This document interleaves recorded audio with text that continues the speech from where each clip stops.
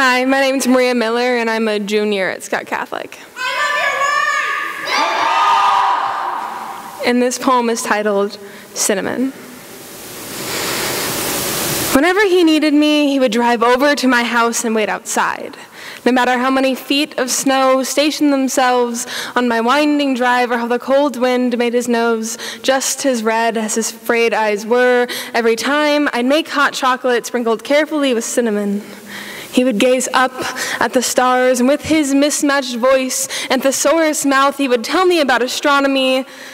The stars proved to him that he was an insignificant figure lost in an endless black sky of numbered planets and abuse.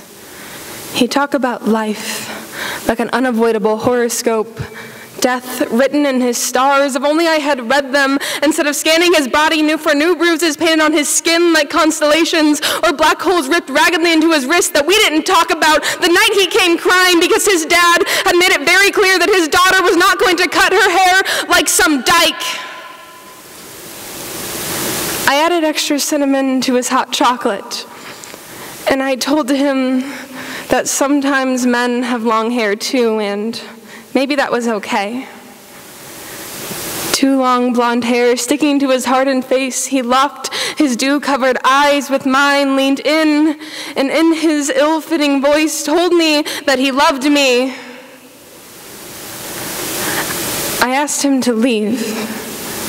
He looked at me the way he always did, took the kind of breath that has a knot in the divot where your neck meets your collarbones, and gathered his last words before they tumbled out of his trembling lips. If that's what you want, I'm sorry.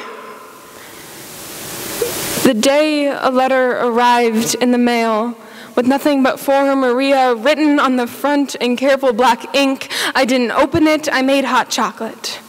I filled his navy cup to the brim, but when my hand shook a little too much, the pieces of the ceramic puddled at the tile at my feet. I was told there would be no funeral, and I never read that note. I poured its ashes into a small glass bottle, carefully sprinkled cinnamon over the still smoking gray remains that may as well have been his. That aging bottle still sits on my desk. It smells like spice like death, like all I have left of him, like regret, like his blood staining my feeble hands, like his I love you. I wish I could have honestly returned, like every no I forced into a sure because I was worried they'd be the next bottle decorating my desk, a thousand dead friend poems and angsty obituaries. It smells like cinnamon. In a constellation lost in the numbers, no amount of stargazing will ever bring back.